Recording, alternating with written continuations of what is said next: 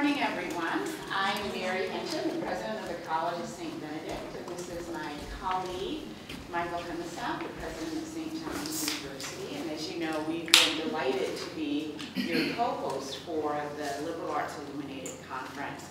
And we are thrilled to see you here this morning to talk about our unique arrangement that we have. If you were just at the opening session, you heard Michael say, we may be the only arrangement of our sort in all of higher education around the globe. I'm fairly certain we're the only two institutions that have this relationship in the United States, but we've not done our global research, so we will say we're likely um, unique around the world. So there are lots of internal people among us, so they will have to chime in if we lead you astray in our comments or if we present something not entirely accurate.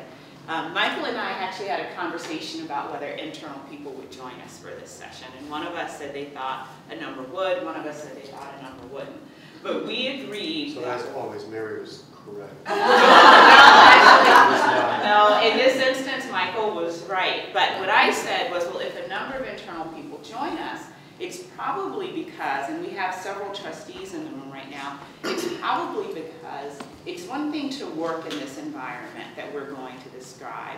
So you go to your desk, right, and you do your job, and, and um, you live the joint nature of it. But I don't know that many people outside of Michael and I spend a lot of time thinking about the relationship itself. So not just what are the tasks we're going to do today, but I would say an uncanny amount of our psychic energy goes into thinking about this relationship that we call the coordinate relationship at the College of St. Benedict and St. John's University. And so we thought we would give you an overview of our institutions, and I will go through that very quickly um, for folks. And then we're going to talk a little bit about the history of the coordinate relationship. So people look at us and they think, wow, how did you make that happen? Well, it didn't happen overnight, and Michael will take you through that chronology. Then we'll spend a bit of time on what is the actual structure of the relationship. We'll talk about the purpose and values, and then how we live it day to day. But this is truly from our perspective. It, it's thinking about, again, thinking about what we call the coordinate relationship between us. And I realize there's one photo we should have included that we didn't. Um, and that is every one of our degrees. So at St. Ben's, it says the College of St. Benedict, in coordination with St. John's University, confer this degree upon the women who graduate here, and then it's the reverse at St. John's. So that word coordinate is very important, um, and we can talk a little bit about that history. Sister Coleman, one of my predecessors, has shared why that word is used, but you'll hear us talk about a coordinate relationship. Well, and that, that degree piece is relatively I think, where the men of St. John's have on their degree an acknowledgement that their education was in coordination with the College of St. Benedict and vice versa. Again, that was that happened before we arrived, I have no doubt, maybe people here could share details, but I have no doubt that was a fraught conversation, multiple fraught conversations over decades, probably before that happened. But it symbolizes, I think, the way in which the relationship has gotten stronger over time. The, the one other thing I would note, just as, as Mary said, I think it is safe to say we probably are a singular experiment in, in the world, not even just in, the United States. So you might think, the economist says, well, if no one else does this, why do we do this? I mean, we shouldn't really exist in, in sometimes jokingly say we, we, work in reality, we don't really work in theory. Um, but I think the thing that's relevant for some of you that are maybe thinking about this for your own institutions is you don't get to start from scratch. I mean, would, this, would the coordinate relationship be something you would develop if you had uh, you know, a brand new notion of how to put together two such institutions? I doubt it. But the reality is none of us are starting from scratch. We all are where we are. We've got our own history and our own current situation. We've got potential partners around that we can work with. And the question is, how do we make that work in the context of not being able to start from scratch? You've got, you are, you're starting wherever you are, and how can you make that work better, given the challenges that higher ed is throwing up for us these days? Uh, so I think that's kind of the spirit in which we're offering our model as an example of something that works well, I think, in my humble opinion. We agree. Uh, good. That's the first. Yeah. so no, it does work, it does work well. We- We agree on occasion. on occasion. Um, so we are in what, what Michael and I call a relationship of permanent interdependence with our ins- institutions. Uh, Michael will talk a bit about whether it can ever be disentangled, and I would think the answer is no, and I don't think either of us would advocate for that. So permanent interdependence is how we view ourselves, and again, the coordinate relationship is the other phrase that, that we have. Um, we are two, We are two separate institutions. So the College of St. Benedict is its own institution. We were founded in 1913 by the Sisters of the Order of St. Benedict, a couple of who are with us today, who continue to serve as the corporate members of our Board of Trustees. Um, The sisters arrived in this area in the late 19th century and opened a school, a hospital, and a college. Today, we have 1,957 women that I'm privileged to serve at the College of St. Benedict. St. John's University was founded by um, the monks of St. John's Abbey, who still have an active presence. In fact, when you came onto campus, you saw lots of signs directing you to the Abbey. They founded St. John's in 1857, as I understand it, and- and Michael will jump in and correct me. Before Minnesota was a state, St. John's University was operating. And so that makes it the oldest institution in, in the state. Come on in. Um, and Michael served 1,756 men. If you ask our combined 3,700 students, they will tell you they have a seamless, singular experience. And much of our work and our effort from our faculty, our staff, and certainly the presidents and senior leadership is to ensure that our students feel like they have a seamless experience. With that said, while we go to market together in enrollment management, you'll see that on the org chart, around the end of the first year, and certainly by the second year, our students are also able to articulate the value of being in a single-sex environment.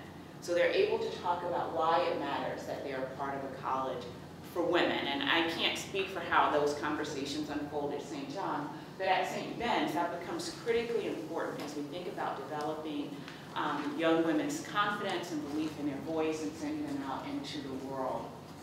So we, as two separate institutions, have two very complementary but two slightly different mission statements.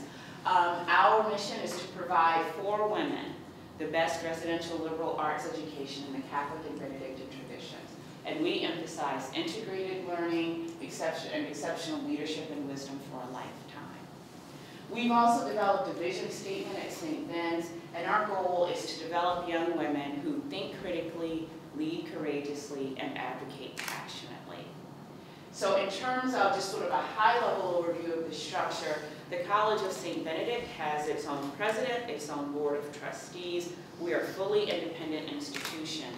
Likewise, St. John's University has its own president and its own board of trustees. They, in 2012, separated from the Abbey and is now its own freestanding institution. St. Ben separated from the St. Benedict's Monastery in the late 1960s, or if I recall, 1966. Um, St. John's Mission, they are grounded in Catholic and Benedictine values, so you see that complementary piece already. And they provide for young men a distinctive residential liberal arts education.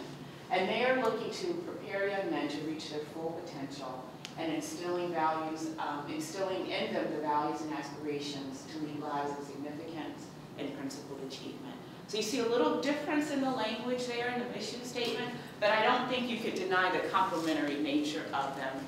St. John's vision is to be one of the nation's great Catholic liberal arts colleges by providing a holistic learning experience, and they inspire young men to new heights of intellectual, spiritual, physical, and social development. And again, that's grounded in the Catholic and Benedictine tradition. St. John's has some other, other pieces to it. So technically it's St. John's University College of Arts and Sciences. There's St. John's Abbey, which um, includes the School of Theology, Hemel.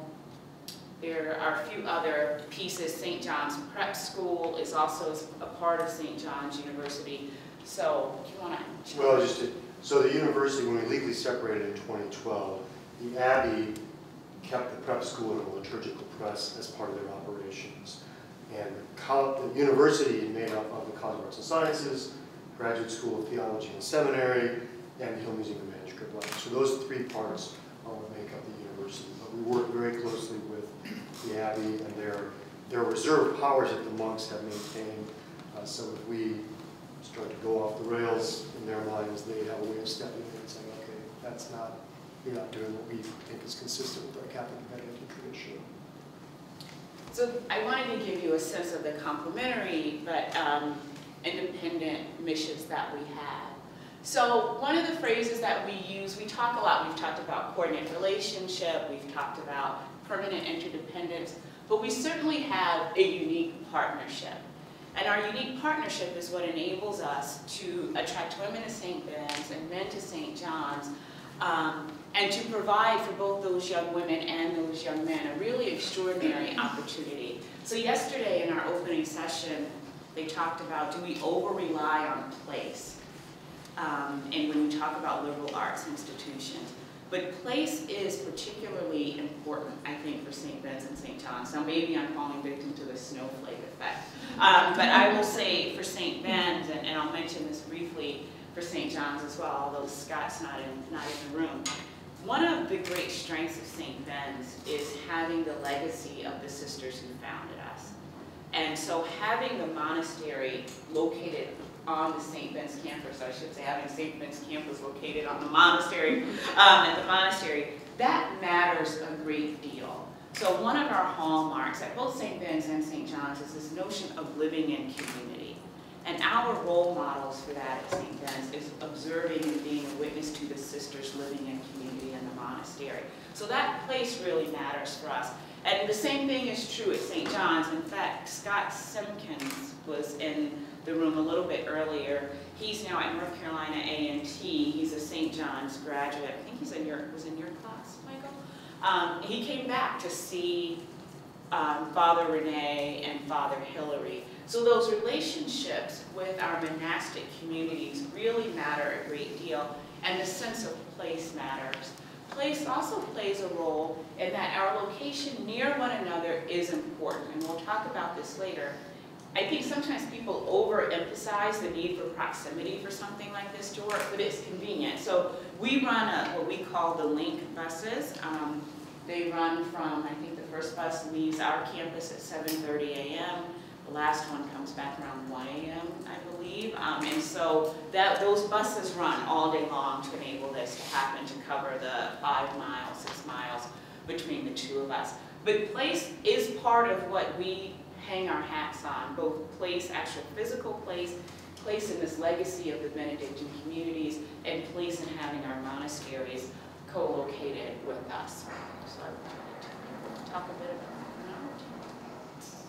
So this is relevant for those of you who are thinking about the possibilities for your own institutions. Uh, This relationship is, so this is our, this is our history, these are the things we had in common as we were starting to think about working together. Um, It it didn't happen instantly in 1913. Um, It took a lot of time before we got to the point where we started doing some things in the mid-60s. Again, for those of you who might be thinking, well, I I don't have 50 years to wait and figure out what to do for my institution. Um, I hear you, uh, that it really is important to think about what can be done in the time frame that you have. But for us, this relationship grew over a 50-year period. Before 1968, this- there were some shared courses, a similar calendar, the two academic calendars lined up, and there were buses back and forth. But it wasn't until 1968 when we really thought about what the longer-term relationship should be. And interestingly, and for those of you that know history better than, than I do, this was an era in which lots of schools, men's and women's schools, that's the battery, did they just put in? Uh, lots of men's and women's schools um, were uh, starting to come together and try to figure out what that relationship should be. And as you know, the reality was that most of those men's and women's schools merged, became a single institution, and I think what happened, I think it's safe to say that in the vast majority of cases, the women's institution lost their identity.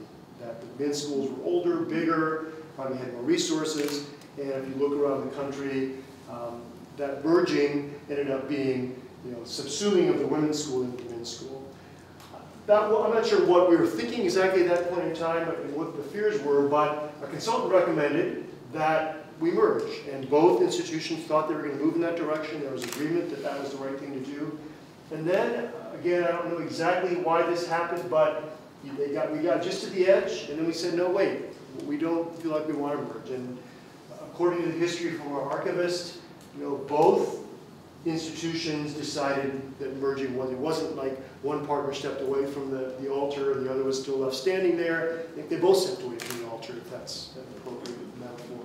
Um, and partly I think it, forced us, and this is relevant as you think about this own institutions, you gotta really think about your identity think about what's important and what you're willing to give up in the service of your students' needs going forward and what you're what you simply won't give up because you think it serves your students well. And I think we decided as institutions that uh, a college for women and a college for men had some real strengths that we wanted to continue to provide for our students and we thought that we could work out a relationship that benefited our students um, by working more closely together but not necessarily merging. And so we developed this, I think there was a different language initially, but the term we've come to use now is coordinate relationship. And that term means nothing to outside of St. Joseph and Collegeville. So when we're talking about this to parents or prospective students, we talk about partnership. That's a language people understand better. But we chose coordinate relationship because we thought that had a certain kind of meaning for us internally it was a little more subtle than, than, term, than term partnership. Uh, so at that point in time, you can also see, and this is relevant for your own institutions, is size of the institutions were, were quite different at that point in time. St. John's was about three times as big as St. Ben's in 1968, something that's flipped now, as Mary noted. So, so basically we started moving more closely together, but the merger piece was off the table. I'll just some of the little things that you might see. Single registrar's office and students could fully cross-register in their mid-70s. The requirements still differed. Not by major, I don't believe. I think major requirements came together pretty quickly because the first thing that we did is try to form single departments. It didn't make sense to have an introductory French class at St. Ben's and an introductory French class at St. John's, when neither of those were going to be over full. So we started getting departments together, and so departmental requirements became consistent pretty early on. The general ed requirements were not uh, identical until I graduated in 81, and they were not identical at that point in time. It was in the mid-80s when we finally had all the requirements match up for both the men and women. Um, you know, some obvious things, the library management got together, but the third, the fourth item here, uh, the fourth bullet point, that's where things get a little bit more, more complicated. We started planning facilities together in the 80s, and in particular, I think the biggest issue, or the, the biggest challenge was to ask, we, all the sciences were at St. John's, because that was our history. And we made a decision at one point to say, all right, we need to spread the sciences out. We need new space for sciences. The chemistry building is going to be built at St. Ben's. Now, okay, well that, that's a hard enough decision in and of itself to say, okay, the chemists don't get to hang out with the biologists anymore. They're in a separate, you know, they're five or six miles away. That's, that's a big deal for them. It's even more complicated though because we're two separate institutions, two separate fundraising operations, two separate corporations. Who pays for the building? Well, the way we work now is on our campus, we pay for buildings, and St. Ben's pays for buildings on their campus. And so there's a sense in which St. John's had a nice benefit from this chemistry building. Let's great, let's have a brand new chemistry building. Congratulations, you can have it on your campus. Oh, by the way, you can pay for it also. Um, but, but at that point in time, the academic facilities, and this probably goes back to the size when we first started doing this, there was a lot more academic square footage at St. John's than there was at St. Ben's. And St. Ben's recognized they wanted both to have science on their campus, but also that more of the academic square footage needed to be balanced out over time. And so St. Ben's made that commitment to invest significant resources multi-million dollar buildings on their campus, knowing that the St. John students were going to benefit from those. But you can immediately see that you've got to make a commitment to each other over the long run. We were saying to ourselves at St. John's, if we're going to have chemistry, we have to recognize chemistry is going to be at St. Ben's, if not in perpetuity, at least for a long, long time. And St. Ben's had to say, if we're going to build this multi-million dollar chemistry building, we need to have enough students to fill that building. If we just have our students alone to do that, you know, that's not the scale that we're building at. So we immediately, there, there's some entanglement here immediately that it was clear we weren't gonna disentangle from. And I think that's, I think there's a single core challenge that, or, or core point that we wanted to share with you was that you've got to be willing to take that leap. Uh, can you say leap of faith? That's maybe more Protestant than Catholic. But you, you've got to take that leap and say, we're going to be working with this partner for the foreseeable future, for the indefinite future, if you're going to commit serious resources. I mean, library management systems, you can disentangle the library if you have to. Even course requirements, you can say, all right, we're going to separate our course requirements from our partner's course requirements. But if you're going to build a building and raise the money to do that, you've got to be in it for the long haul. And we made that decision by the mid-80s to do that. There's some other things, so just add one thing? So just so you don't think that you settle these issues one time and then they go away. I mean, we just now, um, both campuses are doing a bit of expansion of our academic facilities. And so we continue to revisit from a spirit of collaboration, but we revisit what departments are going to be located where. So um, fortunate, we're, we are fortunate at St. Ben's, we're renovating the main building, which is the building with the rotunda on campus, is our new academic centerpiece. That houses nursing right now and a number of other departments, um, including economics, but math and computer science will be located in that building at St. Ben's. But that's going to free up space in Peter Engel, which is the science building here. So we're taking on that expense, you talked about the expense, so we're renovating the main building, but that has real implications for what is, what is St. John's going to do with Peter Engel and what, you know, what will happen on their campus or the library, the learning commons that St. John's is building. That's going to be a wonderful project where you're co-locating some student support services, some academic support services at the library there. That's great, and St. Ben's is really grateful that Michael's raised that money.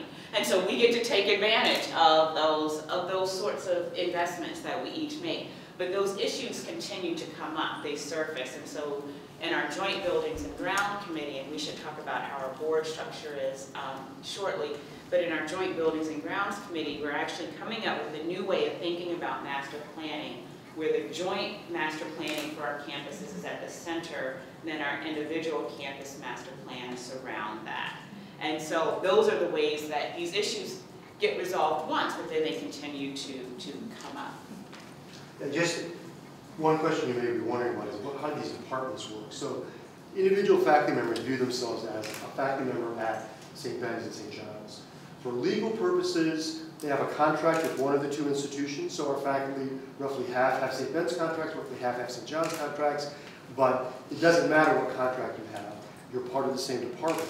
And most faculty, most departments are in one campus or on the other. There are a handful of departments which are still debating about what their future should look like that have a presence on both campuses. So you've got to be, you typically have to be one campus or the other. But the other thing that's relevant for our faculty, and this goes to another important point about resources, in the mid-80s, we brought, human resources came together to the point where we have one human resources department for both institutions.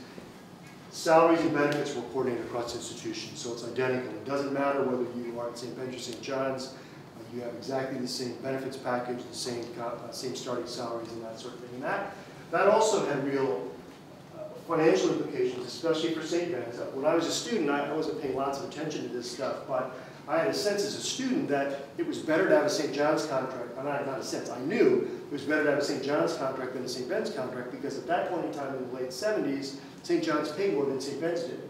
And so when we brought the salaries and benefits together, uh, you can imagine we didn't split the difference, right? No, the St. John's faculty didn't say, oh, well, we'll happily give up some of our benefits. What happened is St. Ben's had to come up to the St. John's level of salary uh, and benefits.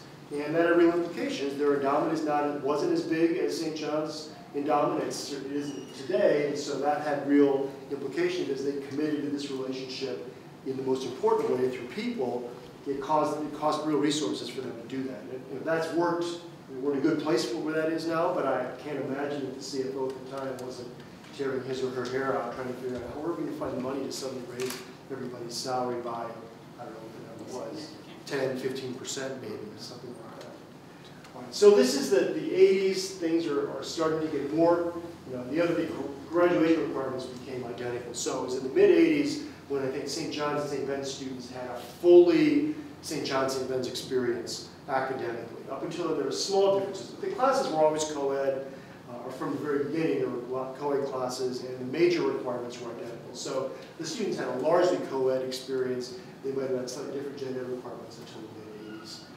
So, you know, we get to the point now where in the 90s, I- I'm not sure unentanglement was a word, but I made it up. Um, And, you know, that was a point where I think we had said, okay, can we, could we disentangle this if we needed to? There's no talk of that, there's never been any hint of that, but I think it's just important to note that, you know, the short answer uh, uh, is that you can't disentangle without a tremendous amount of pain. And that's a commitment we made to each other back in the late 60s, um, but as you see more and more things getting done more closely together, you start to see that the disentangling becomes even more complicated. So, you know, we've got, you don't want me to go all- over all the individual points, but you start to see some important things like parallel handbooks, handbooks for all employees at both institutions. And even those, those individuals that have joint appointments, so our provost, we have one provost for the academic program who reports to both of us. But our provost has this, I I don't know, what- I don't even know what kind of contract he has. But he has a contract with one of the institutions. So our joint employees also, if they report jointly, also have a contract with one of the legal entities, St. Ben's or St. John's. Um, And one of the ways in which we work that out financially is that we put together, we build an academic budget for the whole academic program, you know, faculty, all the academic staff, library staff, everything that falls under academic affairs. We build that budget jointly, we figure out the dollar amount of that budget, and then we split the cost of that budget based on enrollment. So this past year, fifty-three percent of the academic affairs budget was, was the responsibility of the College of St. Benedict, forty-seven percent of the academic affairs budget was St. John's University's responsibility. So it doesn't matter whether our provost has a St. Benedict St. John's contract, his compensation gets tossed into that overall academic affairs budget, and then we split it based on enrollment. Um, yeah, I think this is probably, you know, so just trying to summarize some of the, the big issues that I think have come up for us that, you know, are relevant, that really have shown this commitment to each other. You know, the first is the joint faculty, having the faculty be, really be one, both in terms of their benefits and compensation, but more importantly, I think, psychologically and philosophically. If you ask faculty members at St. Ben's and St. John's, they will not say, I'm a faculty member at one institution or the other institution. They are faculty members of both institutions, and they feel that in their very bones, and that means that the students have an experience that is completely integrated as well, and that's very, very important. Common curriculum piece, also bringing the students together in terms of the general ed requirements. Um, I mentioned single provost and the joint academic affairs budget that we've got. We touched on facilities issues, compensation benefits. The other, the other thing I would note, and Mary touched on this briefly, we have a common web page, and this is in, in the, in our digital era, that's a little bit complicated because if you search for St. John's University, you know, of course, there's another St. John's University out in New York, and that causes some frustration sometimes for some of our alums or some of our board members to say, well, if I search for St. John's, I'm not sure I'm going to get St. John's University. I'm not sure I'm going to end up at the home webpage for St. Ben's and St. John's together. And we have quirky things where, because alphabetically the College of St. Benedict is before St. John's University, if you Google certain of our alumni, Denis McDonough, as you may know, is, is a St. John's graduate, he's a chief of staff at the White House. If you look at his bio, I think on Wikipedia, he's noted as a College of St. Benedict graduate. Um, yeah, well, don't, don't you dare ask him. He's got a government salary. But, but the important point is that we go to market together, and I think that, you know, we, we have this new identity as a joint, and it's not new for us, it's been around 50 years, but there's this joint identity in addition to our individual identities, and when we're trying to recruit 17 and 18-year-old students, that joint identity is absolutely crucial. We do not go to, I mean, with- women, you can talk about this separately, Mary, but 17-year-old men don't typically want to go to an all-male school. I mean, there are some options out there, but there are only four of us in the country that are all male, and we don't lead with that. We absolutely emphasize the fact that we have a partnership with the College of St. Benedict, your classes are co-ed, your social life is as co-ed as you want it to be, and the single-sex piece is, is downplayed a little bit in our marketing and admission stuff, and that's by having a joint um, opening webpage and having our admissions office before you join uh, plays into that uh, philosophy very well. For admissions, one of our, um, one of our web identities is twocolleges.com, and so that takes you and it explains the coordinate relationship for students. Um, so I want to talk a little bit about the organizational structure, but there was one thing on Michael's slide that I just wanted to, or, or something you said that I want to go back to briefly. So Michael mentioned that in the 80s, students began to have this more joint relationship between St. Ben's and St. John's. Now, we've always had a long history of Benny's and Johnny's marrying, so there's always been a social connection. But in the 80s, with that increased academic experience, students began to think of as partners, as one institution. And that had implications for our alums and reunions. So three weeks ago, we held our first fully joint reunion between our two institutions. And that's a big deal. For those classes post, I'll say 1980 to use round numbers, that's critically important for them to have the joint reunion. For classes pre-1980 though, it felt like a bit of a compromise because suddenly they were Bennies or they were Johnnies. And to now be tossed in together was interesting. So um, one of the things that I think Michael and I are both proudest of is that we have this joint reunion, but it's important that we be mindful in our programming of that, that we recognize for graduates from the, we had folks as far back as 46 at ours this year, I don't know how far back yours went. For them, they want time with just the Bennies. They don't want to hear about Benny and Johnny. They don't want to hear about coordinate relationships. So it crops up in some interesting ways um, on our campus. So I want to talk briefly about the organizational structure so that you get a sense of um, what it looks like at St. Ben's and St. John's. So that's way too small to see, but I'll tell you in broad strokes. So if you can see blue, blue are the unique St. Ben's positions. So those are exclusive areas over which the College of St. Benedict has exclusive control. So we'll start with the Board of Trustees. We have similarly sized boards, somewhere between 30 and 40 members in any given year. We both have members of our founding communities on our Board of Trustees. Our boards meet both independently and jointly each year. So right now we're on a schedule of we have two individual board meetings and two joint board meetings each year. And sometimes we have creative overlap, which will be the case in September. Um, and so we have individual board committees and joint board committees. So, for example, I mentioned buildings and grounds earlier. Michael has a buildings and grounds committee for St. John's University. We have a buildings and grounds committee for the College of St. Benedict. We meet independently and we make plans. We also meet jointly once a year. I think B&G meets jointly. Um, we have joint buildings and ground, joint audit, um, joint finance, joint student development. All of those committees have both individual and joint. The only committee that we have one of is academic affairs because there is no independent academic affairs. Academic affairs is all joint, so there's only one academic affairs committee. That committee is fully joint. So there's the board, there's the president, there's captain and chief of staff there, and then the three areas that are independently St. Ben's are institutional advancement, uh, student development, and finance and administration. So that's institutional advancement. We have our own fundraising operation, as does St. St. John's. Student development is, I have my own vice, we have our own vice president of student development, as does Michael.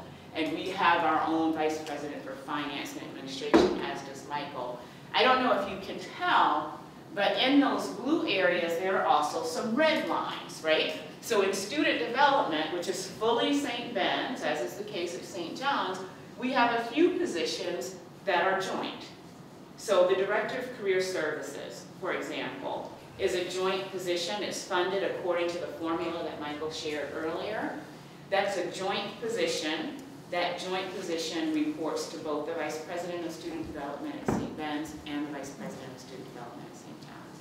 Does that make sense? Mm-hmm. Eh, I know it doesn't, but did my words come out clearly? Okay. We then have in the red, these are the joint areas. So as you can see for St. Ben's, there are more joint areas.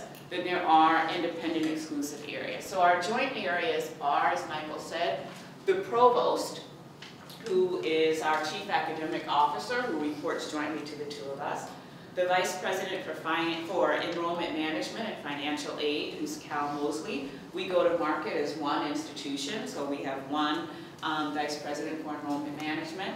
Jon McGee, who is the same in cabinet meetings as he was on that panel yesterday, reports jointly to both of us. And then, Just, I feel like I've got to channel Cal. I, I know, I felt it too, So yeah. Cal, our director of enrollment would remind you that he has to bring in two separate classes each year. We've got target numbers in our budgets for each class size, and we can't, if the if there are a great group of women this year, we can't substitute women for men because we have two separate campuses, we have housing uh, constraints on both campuses, and so 50 more women at St. Ben's would be a disaster because they could not be living in the beds that wouldn't be filled by 50 men who are coming. So the admissions piece is absolutely joint, but it's got this little wrinkle. Cal would say it's not a little wrinkle, it makes him lose lots of sleep, and he makes it the hardest job in the world, as he tells us all the time.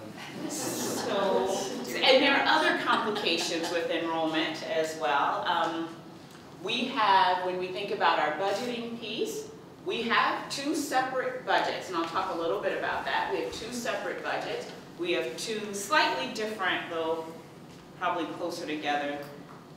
Well, I don't think either of us loves the discount rate, but um, slightly different discount rates. And momentarily, we have different tuitions, right? So, which is also tricky.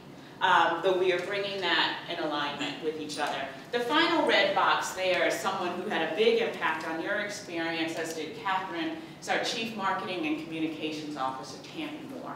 And that was a new box that Michael and I added last year. So she was the first, I think she was the first joint hire that were the first time we brought two departments really fully together and made them joint and appointed Tammy as the leader. So as you can see, we have lots of blue and red. Under Tammy's area, it's nearly all joint, except that is, um, I think that's a, maybe, no, Leah Rado is St. Ben's employee, I think, and she's there. I can't see if that's who that says, um, there. St. John's is similar. So Michael has, right underneath Michael, and he has a similarly sized board, but underneath Michael, you'll see SOT is located there, as he mentioned, he is that. The Benedictine Institute reports to Michael, um, and then Father Columba is Himmel, is that right? Is Himmel is there, and then Michael's chief of staff. So he has some folks there directly under him with those other areas we talked about at the beginning. But then when you look at the overall for the College of Arts and Sciences, the format is the same as St. Ben's and St. John's. And again, I draw your attention to, there's more joint red than there is blue independent. And I say that because that means that there are very few instances when we get to make unilateral decisions about our institutions. Um, And that's further emphasized by one of those red boxes being academic affairs, which is by far the biggest dollar amount as well. So any thoughts we have about academic affairs issues, is how does it affect my institution? How does it affect my partnership with St. Ben's? So all of our hiring, so when we will make tenure track position decisions in August, we have to agree on, on all of those. Um, any curricular changes, we have to agree on all of those. Michael mentioned briefly the compensation piece, and that historical piece is, is interesting, but as we, as we look at updating our market baskets for salaries, um, because we do have very different endowments, that's really, that's tough when we think about faculty salary implications. That Neither one of us are, are wealthy institutions, I don't want to pretend that that's the case. But there's a discrepancy in our endowments, which makes it, which makes it challenging um, for us with that. And so it's very easy to portray this on an org chart, right? You can see it. It's just the people in this room are too nice to tell you that it feels like this. Um, it looks like that, but it feels like that. So that's actually our strategy in Afghanistan. It was the most confusing org chart I could find. Um, but that's what it feels like to live. Am I wrong? Uh, yeah, that's what it feels like. So I just also wanted to give you a sense, and I think this is similar for St. John's, but to give you a sense of how embedded, how entangled we are with each other. When we look at our total employees at the College of St. Benedict, so um, 35% of our employees are faculty members, so you know they're joint, right? Um, we have 30, 39, no, I'm sorry, 26% of our administrators and support staff are joint. So 61% of College of St. Benedict employees are joint.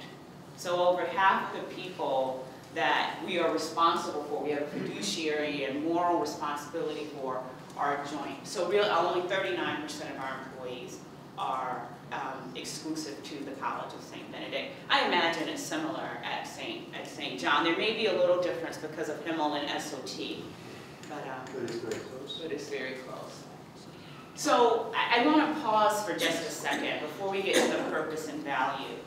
Are there structural questions? Yeah, I thought you had one, so I. Yeah, I'm just curious about the budget part and the sharing kind of things, like, what about facilities? Like, if uh, you're going to build the building on your campus, then since St. John's benefits from that, I mean, to what degree, like, do you share the risk of that investment? Like, is it all on you to finance it on your own revenues, given your different endowment and possible different enrollments? But, it- uh, yeah, I'm just curious how that all fits in.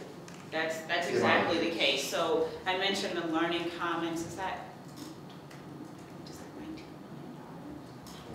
million dollars? $25 million. So St. John's University is assuming all of the financial risk of the Learning Commons. Um, We just did, I'll give you an example, we just did a two and a half million dollar renovation of our nursing facility on the fourth floor of the main building. We fundraised and paid that. Michael went to the bond market, is it November? You all went to bond? We went in March to fund a number of the campus renovations. They're completely, they're completely separate Okay. i- i- in terms of our financial responsibility. Right, and- But, And the other piece, of the operating cost of those, that square footage is also on the, ins- so you cover the operating cost of facilities on your campus. Okay. So even though, you know, Mary is building some, is renovating some academic spaces, St. Ben's which will benefit our students as well. Um, the Cost is hers, but also the operating cost is hers as well. We haven't split out operating costs of physical plant based on square footage or anything like that. That's, so on your campus, you own it, sure, you cover it. And, but that, you know, that raises an interesting question, and I'm not sure we're, we're even close to this yet, but the fact that our building and grounds committees at the board level are meeting together to talk about this, you know, suggests at least a conversation about how do we, is it appropriate to continue with that sharing or, or independence in that dimension, or should we think about raising money together for things? Uh, we're pretty far from that, I think, but, but it recognizes that complication. before I come over, I, I see three more questions, but before I come over, I want to talk a little bit more about the budget. We should describe what that process. Well, I, I echo his look of exhaustion, um, because the budget starts with enrollment. And this is the first year that both St. Ben's and St. John's together, uh, we both met our full enrollment goals, not just first year, but our full enrollment goals. So if we have a year, so my first year was a tough year at St. John's for enrollment, right? And last year was a tough year at St. Ben's for enrollment. But when one of us has a tough year, both of us are impacted. So I could have 900 more students than I need. If St. John's has a, or vice versa, if St. John's has a difficult year and they have to amend their budget, that impacts St. Ben's because you're going to try to find that, make up that room in the biggest part of your budget, which is what? It's your academic affairs budget. And since that's joint, then we both have to make those decisions and those cuts and cost containment efforts. So because the budget starts with enrollment, we start thinking about the next year's budget in terms of, are, is one of us trying to make up a deficit in our budget? And if we are, where are we going to cut? And we, we can cut in our individual areas, but you saw there are only a few of those, right? So then we cut in joint areas. So we have to agree to what the cuts are going to be. We, go ahead. Right, and it- it's, there's an additional complexity in that So if we, if we had a smaller class than we wanted, one thing you do is you cut freshman seminars, right? That's an option. You don't have as many freshmen coming in, you don't need to hire as many faculty to teach freshman seminars. It's an obvious place to cut, to Mary, I say, Mary, we didn't bring as many students, We- it looks like we need three fewer freshman seminars, we'll cut that from the academic affairs budget. Mary says, that makes perfect sense, Michael, you're so brilliant, go ahead and do it. She doesn't say that that often. But I was agreeing with you. but the, the tricky part is, for every dollar we save on that freshman seminar, St. John's saves forty-seven cents. And St. Ben's gets fifty-three cents of of a little bonus. That, so the full savings doesn't flow to either institution appropriately, but it means that the cuts, in some sense, are even more, have an even greater impact because you need to cut basically twice as many dollars from the budget to get the do- dollars worth of savings for each institution. And, you know, the, the beauty is that, I mean, the beauty, it's, the the painful beauty is that these things go back and forth over the years, so two years ago, St. John's didn't meet their enrollment goals, so we had to do the cuts, and St. Ben's had to help us absorb those. Um, and a year ago, St. Ben's had a a tougher budget year, because they didn't meet their enrollment goals, and so they had to make some cuts. So the fact that it's what an economist would call a repeated game, you can work with your partner, because you know that, you know, you do me a favor this year, and and I'll owe you one next year.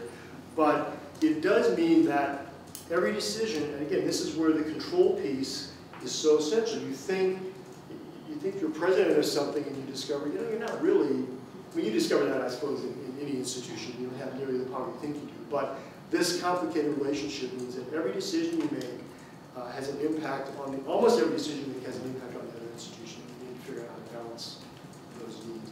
And the other thing is it makes it a little bit, and this is the part that's challenging, I think it makes it a little bit personality dependent. I mean, if, if God forbid Mary got hit by a bus this afternoon and we had a new, I had a new, Don't let sorry, that wasn't.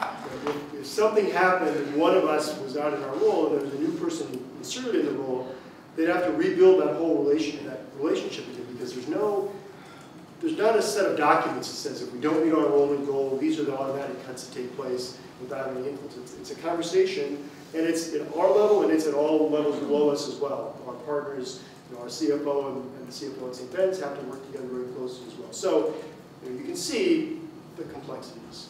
Sorry. I'm gonna go here, and then I'm gonna come up to our, our St. Vincent Uh, Yeah, uh, this is a very courageous uh, uh, experiment, and I want to commend you for that. Uh, And my particular institution could learn a lot from it. But I'm very interested in the social justice issues that emerge in this. Um, For example, in that chemistry building decision, um, given in the 80s and the dynamics of women in science, even though you have the nursing school there, but was that a factor in, in not, not placing all the science education here at the men's uh, university. I'm also curious about the arts. I noticed that visual and performing arts is centered at CSB, right? Uh, Or, Well, we have the Benedicta Arts Center there, and they're treated differently on our campus. We Okay. have some facilities, but the better facilities for those things are at St. Ben's. That- That's absolutely true. yeah, and so that's kind of a reverse question in terms of men's participation in visual and performing arts, et cetera. I'm just wondering if those important social justice dynamics have played out in these decisions. So there's certainly a a gender element that, that we've inherited and we live through on our campuses, and it's something that we talk about a great deal. Um, the VAC, as an example, the sisters built the Benedicta Arts Center in 1965, and so that was their vision. Um, you know, it does come up of, is it important to have the hard sciences reflected at St. Ben's to help encourage women's engagement in them? Those are conversations that are real and that we need to have. I think where you see um, the gender issues arise, where they get very complicated, some of it comes up with what facilities are going to go where, right? Some of it comes up there. But I see it a lot in, and we are at different places with our endowment because of the historical employment patterns of women versus men. So St. John's has been raising a lot of money a lot longer than we have. So that gets to be, so there's part of that unevenness that is there. Um, You mentioned the facilities piece. So the issues come up, but I think those gender issues, maybe they're more evident. And so in our advancement office, there's one man who works in our advancement office, Chad, you've seen him around. He has a, he's bald, he's great, he's a a wonderful man, but, so you see those gender dynamics of a college for women and a college for men. I don't know, you have some um, administrative and support staff in your IA office, but it tends to be more men in, positions at St. John's. Yeah, kind of a lot of the advancement piece, alumni often play a role. But I mean, I think the short answer to your question is yes. The gender piece is a factor in all these decisions. And in some sense, that's the strength of this separate college for women, college for men piece. We can raise those issues of gender quite openly by talking about, well, this is for Benny's, this is for Johnny's. At co-ed institutions, that's a little harder to do. We can have separate programming, and that's, again, one of the strengths. We can have separate programming in the Career Center for women. This is a program just for Benny's, and it's designed to address issues of women in the job market uh, that maybe aren't relevant for. But we don't have, when that happens, we don't have the men saying, wait a minute, I want that program too. They recognize that there's going to be a separate program for Johnny that addresses different issues. So gender is always part of our discussion, and so when it comes to the facilities piece, we can raise that issue quite directly. Can say, okay, women are underrepresented in the STEM fields, would it be beneficial to have one of the STEM fields on the St. Ben's campus? The answer, I think, in that case was clearly yes, but that didn't trump everything else. But that became a significant enough factor that it might have tipped things in one direction or the other. So we absolutely talk about that openly, but it's not going to trump everything else, but it's certainly an important part of the discussion to be sure. I need to clarify one thing about the VAC. It was a sister who was leading the college. I I attribute all of our good ideas to the sisters because they are, but it was a sister who was leading the college and it was the sister support that we were able to build that. Yes. Um, I'd like to as a 30-year executive with Ford Motor Company, of which 10 years were spent at Jaguar in the UK. I can empathize and sympathize with you on the joys of allocation and budgets and being disrupted by Ford volume drops onto Jaguar and vice versa. But I have a two-part question, and one may, I might direct to the sisters. Um, I'm an alum of Seton Hill. St. Vincent's down the road, had a class of, uh, while I was there, a similar cooperation, which ultimately went different directions when both schools went co-ed. Yeah, we're the opposite We're, we're actually the mm-hmm. opposite. Mm-hmm. So I- it's very interesting to me because St. Vincent had the Benedictine tradition and Seton Hill from the Sisters of Charity, Mother Seton. How much, how important was that shared Benedictine tradition? So that's the first part of the question because it would seem there is a sense of the common good from that shared Benedictine tradition. And this is the more difficult question. I have a sense that your communities are very similar to the St. Seton Hill community. What's the plan for survivability and sustainability as the, the communities are fewer and smaller and older? Because it, it's something we were facing very strenuously at Seton Hill, um, with a much smaller community, very aged. How do you keep that tradition and that sense of common, common good and common benefit um, alive when some of those founding communities are not as strong? Start with your second question, I'm, by the way, I'm Sister Michaela, and I'm uh, the prioress at St. Benedict's, and this is Sister Mary Catherine, was one of the trustee members. And uh, I'll start with your second question. I think the concern on both campuses with St. John's and St. Ben's from the community's you know, perspective is a a profound, profound experience of we need to embed the Benedictine values in the system. And we're working quite closely right now between the monastery, the university, the, the um, abbey, and the College of St. Benedict, uh, working with Carol Abel, who's in Human Resources, and with the Benedictine Institute, that's part of what uh, Michael is responsible for, to find ways to do that. Um, And we've started some interesting initiatives able to do that, with tremendous support from both Michael and Mary, which, I mean, to have everybody working together is just, the stars are aligned. So um, that, that's a conscious concern right now that somehow we, and the continued connections with the sisters on the campus at St. uh, Ben's, as Mary said, we have a particular program that works with that. Here we have more men who are part of faculty residence, uh, and there are more monks that are teaching uh, and, and are participating in that particular uh, arena. So the, the connection is, is there, and we continue to work with Carol on, on uh, programs that we're able to do. the reality of having to- a Benedictine women's community and a Benedictine men's community is one of those that I think, in a certain sense, works for you, and again, yeah, uh, for you because we care, we cherish this Benedictine tradition that is, is profoundly ours. And it probably goes to your question, the, you know, when the sisters came here in, in, in the mid, like about 1857, um, the role of women in the church um, was different than it is now. We're, we're progressed down the road a bit, but the, the historical challenges and sometimes pain of women being under the men um, within, you know, in terms of the abbey as well as in terms of the church, in terms of a diocesan structure, really needed to be worked through. And I think we're further now than we've ever been. What would you say, Mary Catherine? And, and add anything else that, and, and, and it still plays its part. It's, it still plays its part and every now and then. Um, but, you know, I think that, again, that's what we witness to as religious communities. That, you know, Benedict was very, very strong on that whole, you know, make peace before the sun goes down. And so, um, right now, again, the stars are absolutely aligned. It's, uh, you Can I the, please rec- recommend that you take advantage? Because once upon a time, we had a Ford and a Jaguar unentangled. Uh, In in history and circumstances and economies, it's very difficult to unwind and it's very painful.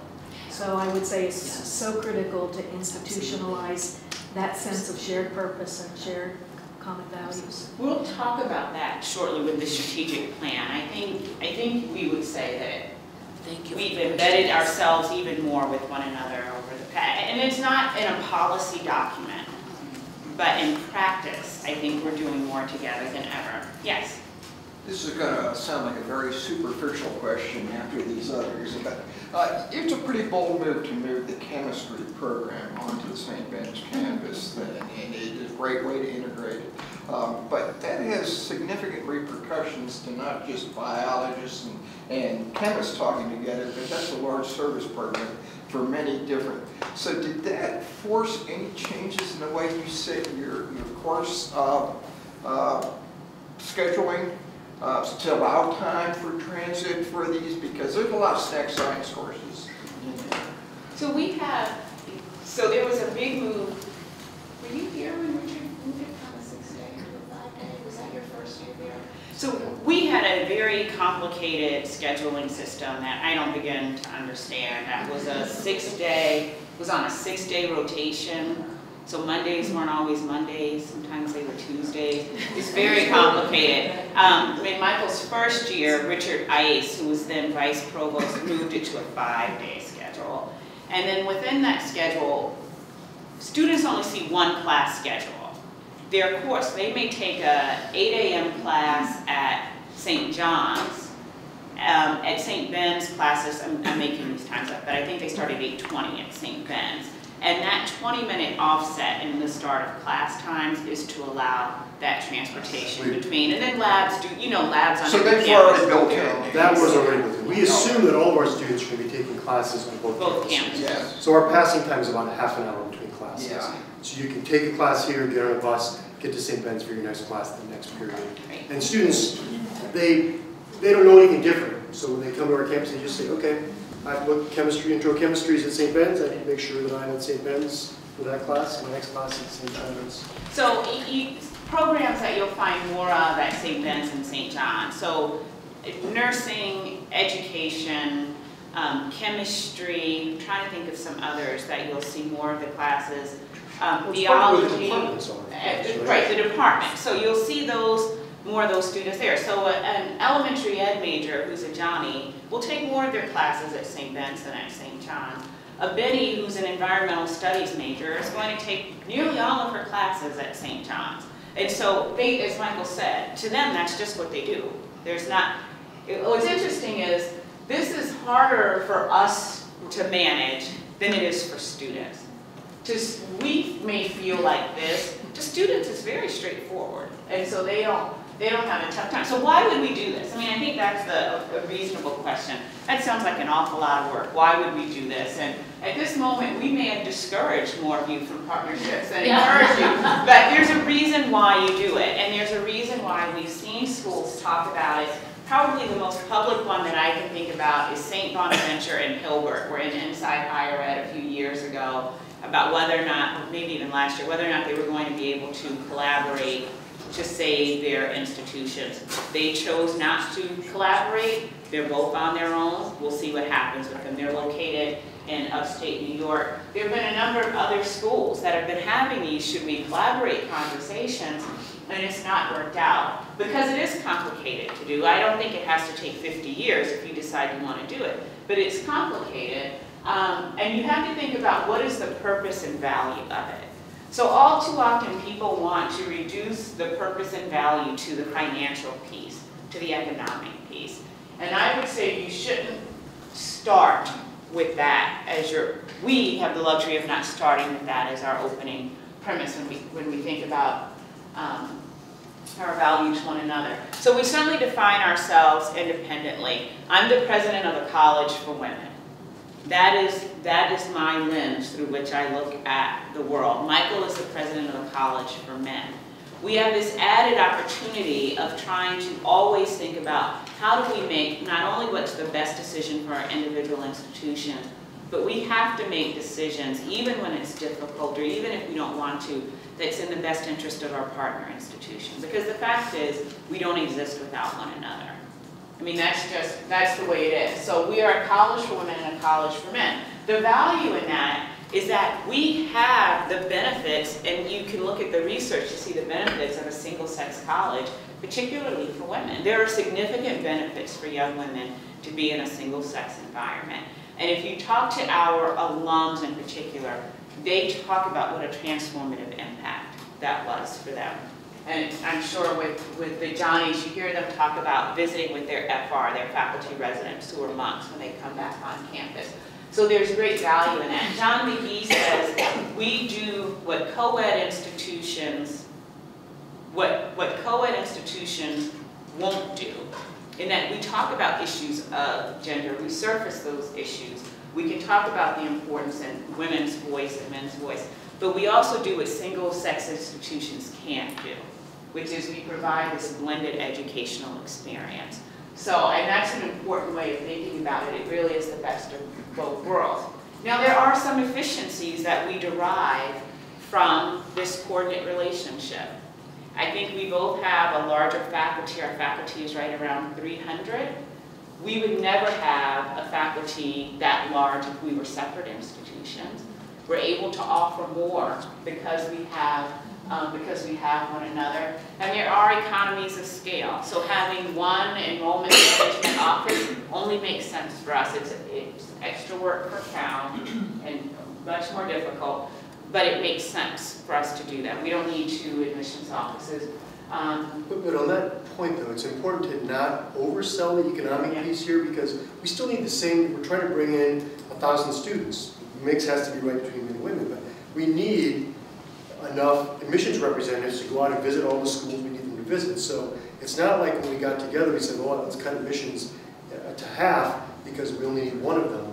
So, I mean, this is, I mean, partly I'm speaking to my board here because they sometimes envision the dollar savings to be greater than I think they actually are because we're such a people-driven place. Our advancement offices, we have two separate advancement offices. You think, well, why don't you just bring advancement together? Well, if advancement came together, we'd still need the same number of senior development officers to go visit twice as many alums. So that piece, there are economies of scale to be sure. I don't want to downplay those, but I think that to lead with the economic issues is probably not the right way to start. You've got to lead with mission-related issues, I think, which, is where we have this good base of the Benedictine, shared Benedictine history and values. So, you know, what we're often asked, well, why don't you have one business office? I think that's the biggest one that we get more often than not. Why don't you have one business office? Well, we're two separate institutions. There's some firewalls we need in place, and we probably still need the same number of people. It's important to note, neither one of our institutions have lots of extra people just floating around with extra time. I mean, so we, we are fairly lean institution. Now, we did find some economies of scale when we went to the one um, Office of Marketing and Communication, like that, that's been a win, but the biggest win for that, I would argue, hasn't been an economic one. It's been a better vision, shared vision of where we're going with that part of our, of our enterprise. We should know, one of the other questions he gets asked often is, why do you have two presidents? That cuts a little too close to the bone, we don't really want to talk about that. Yeah. But we would have twice the work, like we have, we do a lot jointly. So just, just on that point, um, we're both on the road probably half the time doing fundraising. I don't know how we would manage that if there were just one of us. We do some things jointly. We do some advancement visits jointly, um, you know, lots of things we do jointly, but that is a, a little more tender, shall we say. Um, we can do more for our students, which at the end of the day is the most important thing. We have an advising system and support for our students that I think far exceeds anything we would have been able to do individually. And, you know, we have two libraries. And I think that's great. It's particularly great this year when Alcuin at St. John's is under renovation, so Clemens is open, so all the students will use that one. But our library collection, when you combine the two of them, is the 11th largest in the nation. Because of the two of us, we would not have that if we were independent institutions. Um, And I should just note, we talked about multiple recreation facilities. Our athletics programs are completely separate, and that's really important because of of Title IX. So those are two separate um, pieces. So Michael's going to talk a little bit about benefits and costs. Well, this is just kind of following on what Mary started touching on that already. I mean, just, I, I think the single biggest benefit for our model is this philosophical, um, the philosophical benefit of having jointness but separateness. We can provide a co-educational experience to the students that want that, and most students do want that, but we also provide a single-sex experience for our students as well. And that's not so much in their academic experience, that's co-ed, but especially on the student development side, as I said, we can do separate planning for women, separate planning for men, separate programming for those two units. And we do, student development works closely together, there's a lot of joint programming, but we can do separate programming, and our students and our alums tell us that that single-sex experience, even if it wasn't what they thought they were uh, coming for, that, that that was the most important thing when they were coming here as a freshman, by the time they're sophomores, by the time they're graduates, that means something to them. They still, they were happy to have had the co-ed piece, but they were also happy to have what you might characterize as the very best of a kind of sorority experience at St. Ben's and a fraternity experience at St. John's. And the very best parts of that, the, the downsides to those models too.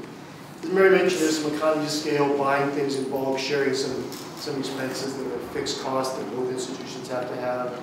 Um, you know, the, our joint size, as Mary noted, gives us some real benefits in terms of faculty mix. So we've got, every department has a wider range of faculty with more specialties than if we were individual institutions. So there's obvious curricular benefits to that as well. But things like off-campus programs, which is a big part of it, we're very proud of our off-campus uh, history and, and experience. And we can fill off-campus programs in places where schools that, that are half the size, if we were individual schools of 1900, we probably couldn't have a program in Chile.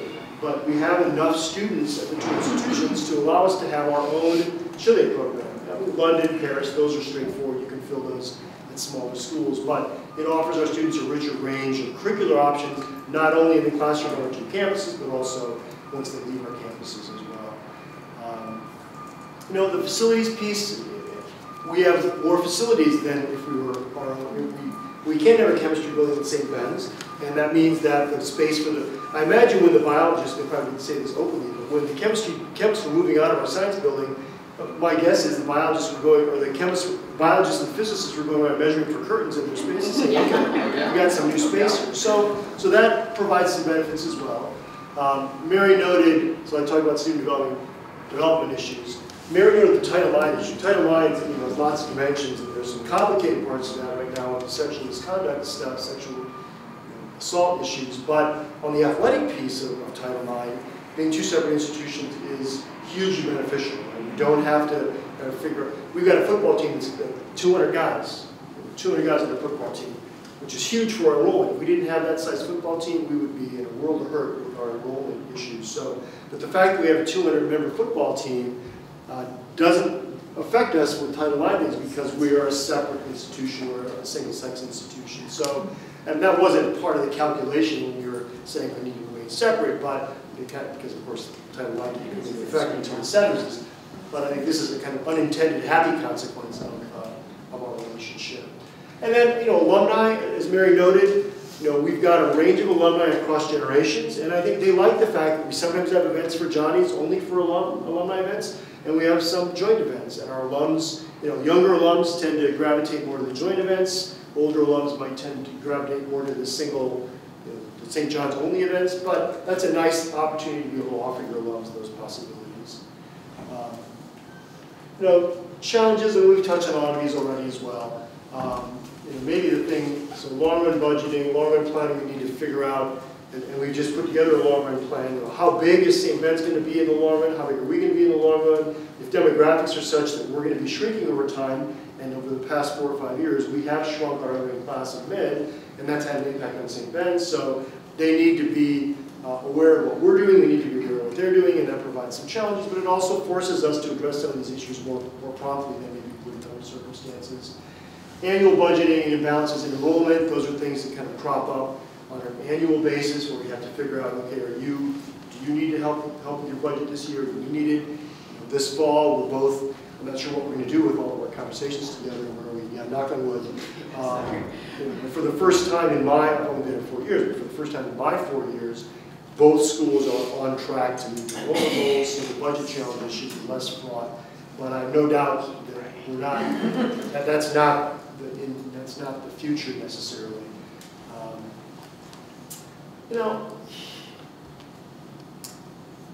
yeah, I- mean, I guess colleagues, what I meant by that one, I mean, we've got this history that's complicated, and the colleagues piece, I think the vast majority of our colleagues absolutely buy into the jointness of this, and I think the fact that we've been doing it for a long time makes it easier for them to do that. But I also know that, and I I won't name any names, but I can speak for some of my colleagues who, they don't always have a joint lens when they look at the world. They look at the world through a St. John's lens. And St. Ben's is off on the side, but it's not out of the picture. But they sometimes think about things with the St. John's perspective only. And our job, I mean, Mary maybe doesn't have as as many of those colleagues, uh, let her comment on that. But our job is to remind them, of course, I am the president of St. John's. I absolutely am committed to the health of the institution in the long run and the experience our students and alums have. But that experience is absolutely tied to our relationship with the College of St. Benedict. And so you, dear colleague, need to remember that this isn't just about St. John's. You can't be thinking about the short-run benefit to St. John's and be oblivious to what that might, how that might impact St. Ben's. So you sometimes have to bring colleagues along. And my, I would imagine, of course, that if you're doing this early in a relationship, that gets even harder. This is not a huge issue day to day to be sure, but it still crops up once in a while. And I would admit that it's, it probably crops up most often among my colleagues that happen to be alumni of St. John's as well. So they've got this kind of double relationship. They- They're alumni and they're working here as well. Um, We talked a little bit about the duplication of, of uh, employees and whether that, you know, real costs are there. Maybe we should touch just briefly on the board issue. We have two separate boards of trustees, and, you know, that, I mean, dealing with any board, any- a single board is, is a challenge in and of itself. Not Not all all present boards. companies. Speaking only for myself, uh, dealing with a single board is enough of a challenge, and trying to get that board to play nicely with another board uh, is an additional challenge, even when that other board is, is all sweetness and light, which they are at the College of St. Benedict.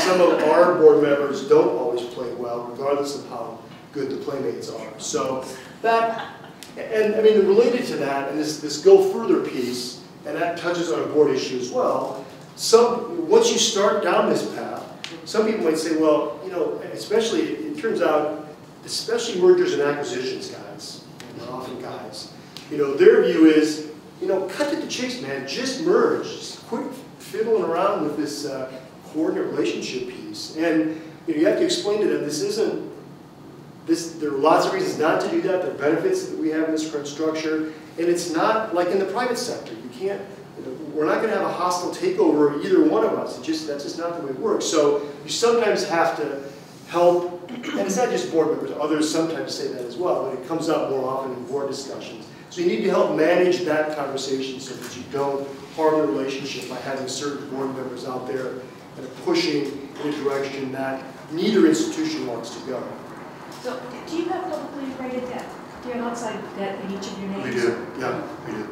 And we have a sep, and, and the So you have bond rating regular is rating separate. agency reviews and. Right, absolutely. And- Although they commented, I don't know if it was in your Moody's report, um, but in ours, and, and we got a great report from Moody's, but they commented on the importance of this relationship Right. to that, to that rating, which Yeah, was. because unlike a hedge fund guy, they can't take a management fee and then leverage it with debt and then get out. No, I mean, no. I think that's the biggest difference.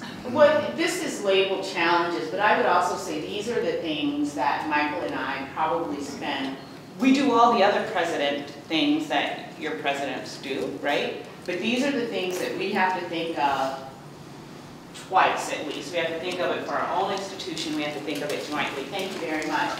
But we also have, you know, we have to think about these issues all the time, and we have to manage all of these issues all the time as well. And that's, that's what I meant when I started out by saying, our joint employees do the work, like they make this engine run.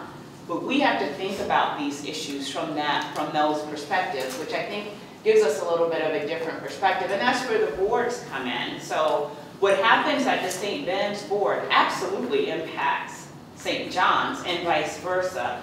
So having two boards and two board cultures is an important part of our work because we are so embedded with, um, with one another. Yeah, and I, I didn't mean, didn't mean to be flip about the board issue, because there really is a difference in the two boards. Partly history, there's some interesting gender differences. I mean, I- the person that asked about gender has, has left, but, you know, the St. Ben's board, because the boards are often made up, of course, of alumni, alumni, St. Ben's board is more heavily women, our board is more heavily men. Our- Our female board chair is smiling at these conversations because she has to ride herd on a board that is ninety. Out of. So those are real issues, and that for other institutions that don't have the gender piece, um, if two co-ed institutions do this, my guess is that boards probably have, have cultures that are more, uh, I don't know, I- that would be just speculation. You might think, the gender piece wouldn't be part of those board issues probably, though there can be lots of other historical issues that are different as well, of course. So when institutions think about this, think about developing partnerships, I, I think, and I think Michael would agree, and we talk about this in the liberal education article, where they go wrong is they want to start around the edges, and as, as Michael always says, let's buy toilet paper together. Mm-hmm. I- That's not going to lead to a long-term partnership. You've got to be willing to share what we call the heart of your institution. There's, it's, in a way, it's important that we're unent- unentangable, is that, I mean, Unentanglement. unentanglement, because that means we have to make it work. We have to make it work. You have to be willing to wrestle with all of these issues, in good times and in bad times, if you're going to make a partnership work. And the question for those institutions that are thinking about this is not who's going, you can't have the notion of who's going to win. As human a reaction as that is, and that is a human reaction, and I think we both like to win all the time. We can't, we can't have a zero-sum game. We have to look at it as a win for St. John's, as a win for St. Ben's, a win for St. Ben's, as a win for St. John's. And if you're not willing to humble yourself and put your pride away, then you can't make this work. And I think what we're seeing among those institutions that are talking about partnerships that then back away, is that they're viewing it as a zero-sum game. And as long as that's your view, you simply won't be able to make this work. It's not about the shared economies of purchasing. That, and I don't even know that we do that much shared purchasing. We do some, but it's not, that's not the economic engine of St. Ben's and St. John's. It's that our faculty are one, it's that we have to figure it out um, with hiring for the faculty. It's when we make decisions about compensation, for all of those red boxes, um, and for everyone, we figure out an across-the-board raise for everyone. We, we do that each year, and that's, that's really tricky to, to undertake. So some final thoughts, Michael, if you'll start with that, and I'll run through just some strategic plan stuff. Yeah, I mean, just, these are the things which I think anyone was thinking about doing this would consider. First, you know, you, what is physical proximity? Does that help or hurt this potential match? Um, the Size of the institutions, we started this when we were very different sizes. My guess is it's probably easier if the sizes are roughly similar, the financial situation as well. Um, If there's a rich school and a poor school, rich schools probably aren't worried about this. But if there's a, a poor school and a poorer school, um, that, that inequity can be a challenge. Um, You just need to be aware of that. You know, and how, how is it perceived in your admissions?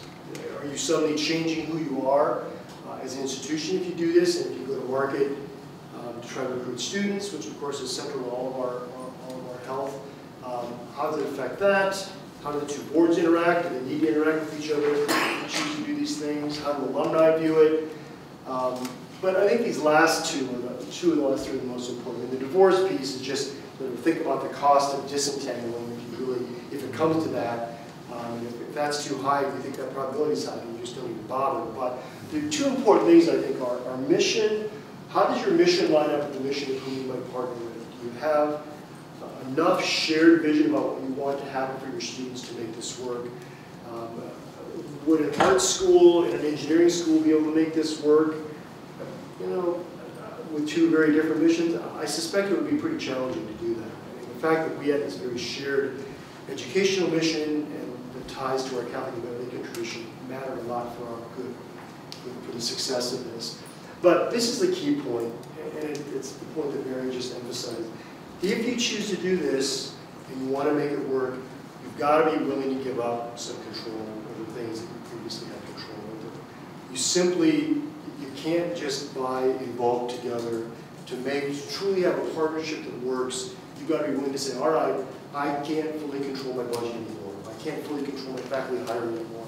I've got to do with a partner that I trust and that I want to have a relationship in perpetuity, maybe. Um, So marriage is sometimes, marriage is an imperfect analogy, but I think there's, a, there are some similarities in that, you know, two single people come together and, and get married, they can't have the same kind of life and choices that they had when they were single. They're, they're choosing to do, to become something different than they were before. And have this third piece, the couple piece, the family piece. And I think that's not, that's not a bad way of thinking about this. And if you're not prepared to form this third thing, this, this new family, this new community, even as you maintain your own independent identity, I mean, the marriage piece works there, right? You're still a separate person from your spouse normally. Um, but you've got to give up some of that control. And until you're willing to do that, I think any kind of partnership is not going to work unless you're willing to say, all right, we're all in for the long run. We trust you. We believe in you enough to make this commitment, even if we don't know exactly what the future's going to bring. So with that, we will, we'll begin to wrap up. We, and last year, Michael and I did the first joint strategic plans, fully joint strategic plans in the history of the institutions. You have a copy with for liberal education. And it only makes sense. I mean, the four things that are most valuable to us in our mission are liberal arts, our Catholic and Benedictine experience, um, our holistic and transformational development for us of women, for St. John's of men, and then this fourth pillar, really, it's called shared future, sustainable future, and that speaks to our commitment to each other and what we're going to do over the next five years to shore up that commitment. And it does not suggest merger at all. So we know we're safe, nor does it suggest one president. So we're good until 2020, and then we'll see what happens after that. But at the end of the day, it is permanent interdependence between the two of us. Last year was the first time, and this photo is actually from this year, but last year was the first time the presidents went to each other's commencements and sat on the stage with one another. And that was an important signal, I think, for us to send about our permanent interdependence. So with that, we have uh, five, four minutes for any final questions or comments. Yes? You spoke a lot about the challenges of the relationship um, and also the, the upside, but I'm curious, uh, it's, very rare for a president to have partner that they can turn to as a sounding board who isn't either a subordinate or a board chair, uh, which obviously has a responsibility uh, to oversee you as, as, as an officer. So I'm wondering about the upside of being able to pick, the phone, pick up the phone and say, let's talk, um, as opposed to the challenges. Yeah, Michael, what about the upside? It's all excited. I want to hear your view. You know, so for both of us, this is our first presidency. And I remember when I first got a call from the search firm and they were trying to describe this, It was like, well, clearly I'm not cut out, because I don't know what you're talking about with this coordinated relationship. Um, so you don't know how lonely this job can, can be as a president until you're in it. And it is 100% upside. It- we can communicate in emojis pretty effectively. So I don't have to explain person X and my challenge with person X. Um, well, we are very, we're very different people. We understand our institutions in very similar ways, I think. Um, and so that is 100% upside. But, I mean, the reality of it though is that neither one of us, and this was a stark realization that I think you only articulated this year, neither one of us has complete control over our career any longer. I, I, because if we make decisions that harm either of our institutions or that doesn't push it as far forward as we like, that impacts us personally as well. So you have to, even if you don't want to, even if, if you are having a tough issue, this is the person, this is the person I have to rely on, not only professionally, but personally in, in my life. And that, that's, that's a big commitment that you're making. So how involved are the boards hiring process? You're both relatively new at this, knowing that you're hiring a partner to somebody else as well. Um, I- I'm wondering about the search process and all of Very, very little. Yeah, I was on the search committee that hired Michael, okay. and it was certainly a St. uh, John's search committee. We had monks on the committee and, you know, some lay people, faculty, the usual composition.